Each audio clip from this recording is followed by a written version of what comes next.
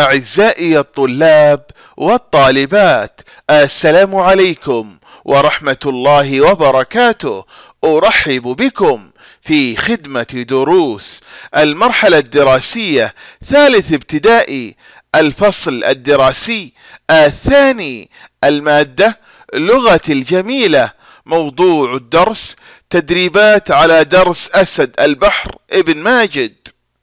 إعداد وتقديم الأستاذ سلطان الشمري. يسعى هذا الدرس أيها الأحبة إلى تحقيق الأهداف التالية. أولا التعرف على المعاني الغامضة في النص باستخدام الترادف والتضاد. ثانيا أن يحدد الطالب الشخصيات الواردة في النص.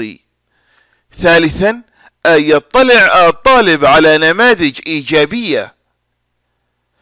فهيا معا لتحقيق هذه الأهداف.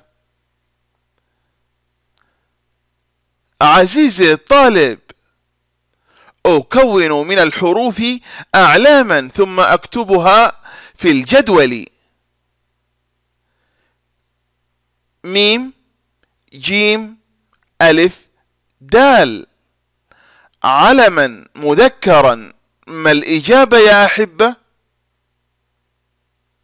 نفكر قليلا. ماجد أحسنتم إجابة رائعة. ميم ألف راء ميم. علما مؤنثا. ما الإجابة يا أحبة؟ نفكر قليلا. مرام أحسنتم إجابة رائعة. جيم باء ألف راء. علما مذكرا. ما الإجابة يا أحبة؟ نفكر قليلا. جابر أحسنتم. إجابة صحيحة. يا با نون عين. علما لمدينة. ما الإجابة يا أحبة؟ نفكر قليلا. ينبع. أحسنتم. إجابة رائعة. وهي مدينة سعودية.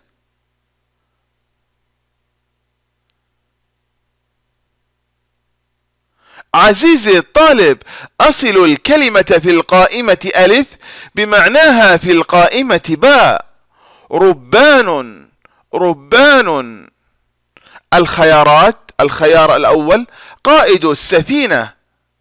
الخيار الثاني ابتدع شيئا غير مسبوق. الخيار الثالث عامل في السفينة. ما الإجابة يا أحبة؟ نفكر قليلا.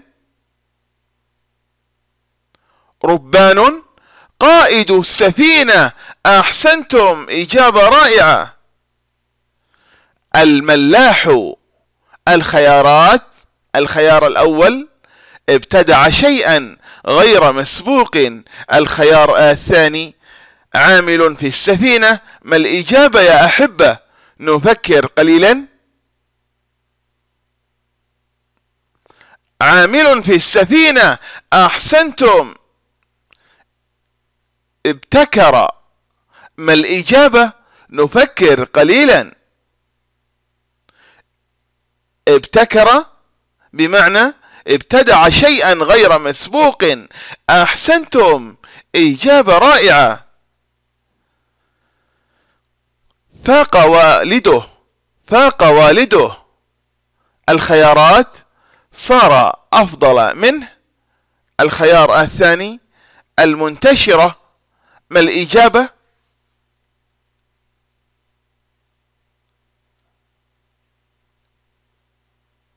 فاق والده أي صار أفضل منه.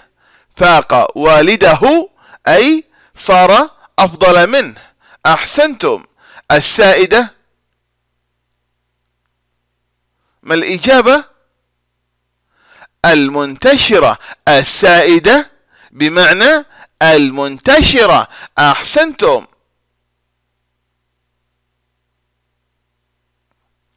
عزيزي الطالب أكتب أمام كل كلمة ضدها. قبل أن نجيب ما المقصود بالضد يا أحبة؟ ما المقصود بالضد؟ أكتب أمام كل كلمة ضدها. ما المقصود بالضد؟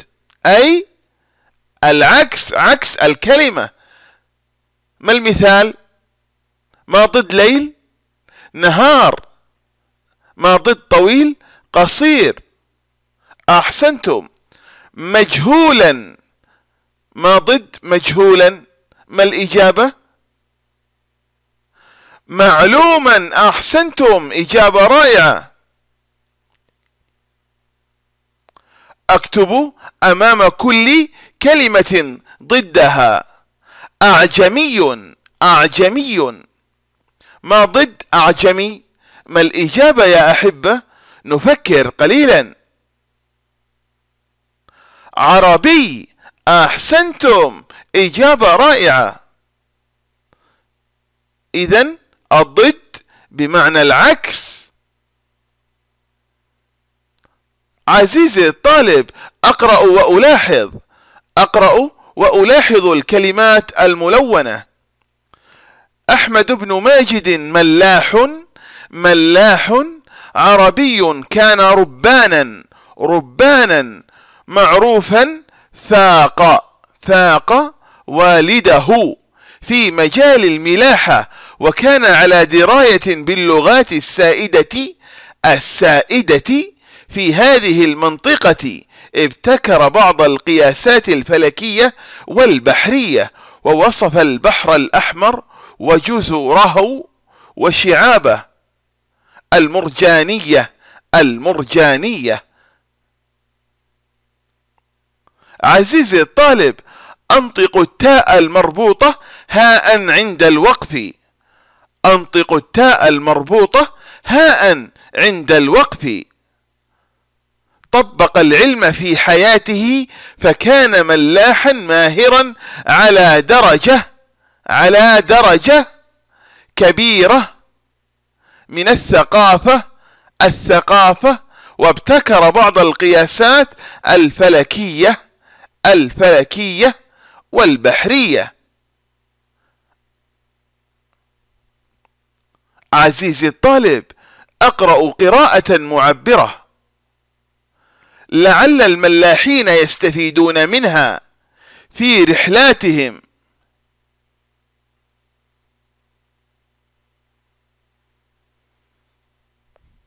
أستخرج من النص كلمات مختومة بتاء مربوطة. ما الإجابة يا أحبة؟ نفكر قليلا. إمارة. أحسنتم. ما الإجابة الأخرى؟ نفكر قليلا. القراءة. ما الإجابة الأخرى يا أحبة؟ خاصة أحسنتم إجابة رائعة. أستخرج من النص كلمات مختومة بها. ما الإجابة يا أحبة؟ نفكر قليلا. أصله. ما الإجابة الأخرى؟ والده. ما الإجابة الأخرى؟ سبقوه. أحسنتم. إجابة رائعة. أستخرج من النص كلمات مختومة بياء. ما الإجابة يا أحبة؟ نفكر قليلا. عربي نلاحظ الحرف الأخير حرف الياء. ما الكلمة الأخرى؟ نفكر. صبي. الكلمة ختمت بحرف الياء. ما الإجابة الأخيرة؟ نفكر يا أحبة. الهندي. الكلمة مختومة بحرف الياء. أحسنتم. إجابة رائعة. أستخرج من النص كلمات مختومة بألف على صورة ياء غير منقوطة. على صورة ياء غير منقوطة. ما الإجابة يا أحبة؟ نفكر قليلا. قضى. مختومة بألف على صورة ياء غير منقوطة. ما الإجابة الأخرى؟ على. كذلك ما الإجابة؟ إلى. أحسنتم. إجابة رائعة.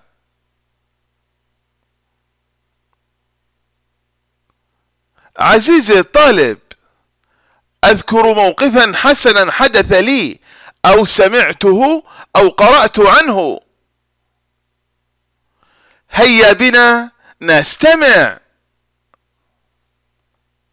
فلو قد ذقت من حلواه طعما لا آثرت التعلم واجتهدت ولم يشغلك عنه هوى مطاع. ولا دنيا بزخرفها فتنتا فلو قد ذقت من حلواه طعما لا آثرت التعلم واجتهدت ولم يشغلك عنه هوى مطاع. ولا دنيا بزخرفها فتنتا ولا ألهك عنه أنيق روض. ولا خدر بربربه كلفتا ولا ألهك عنه أنيق روض أنيق روض ولا خدر بربربه كلفتا فقوت الروح أرواح المعاني وليس بأن طعمت وأن شربت فواظبه وخذ بالجد فيه. فإن أعطاكه الله أخذته وإن أوتيت فيه طويل باع. وقال الناس إنك قد سبقت. فلا تأمن سؤال الله عنه بتوبيخ علمت فهل عملت؟ فرأس العلم تقوى الله حقا. وليس بأن يقال لقد رأست وضع في ثوبك الإحسان لا أن ترى ثوب الإساءة قد لبستا فرأس العلم تقوى الله حقا وليس بأن يقال لقد رأست وضع في ثوبك الإحسان لا أن ترى ثوب الإساءة قد لبستا فرأس العلم تقوى الله حقا وليس بأن يقال لقد رأست. وضع في ثوبك الإحسان لا أن ترى ثوب الإساءة قد لبستا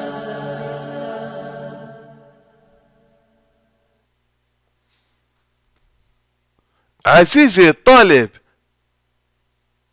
بمحاكاة المثال الأول أكمل الفراغ. دون في مؤلفاته نصائح وتجارب ملاحية. لعل الملاحين يستفيدون منها في رحلاتهم. ترك ثلاثين مؤلفا عن تجاربه لعل الملاح فراغ. ما الإجابة يا أحبة؟ نفكر قليلا.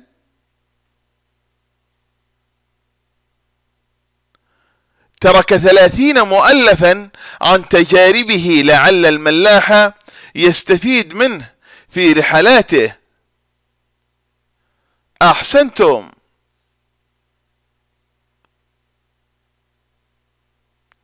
عزيزي الطالب أضع علامة صح للإجابة الصحيحة. اللقب الذي عرف به أحمد بن ماجد الخيارات أسد الغابة أسد البحر أسد البر. ما الإجابة؟ نفكر قليلا. أسد البحر أحسنتم. إجابة رائعة. تعلمنا اليوم. أولا تسمية عدد من علماء المسلمين. ثانيا صياغة جمل تعبر عن دور العلماء. ثالثا التعرف على المخترعات. هذا هو درسنا اليوم وإلى لقاء قادم بإذن الله. والسلام عليكم ورحمة الله وبركاته.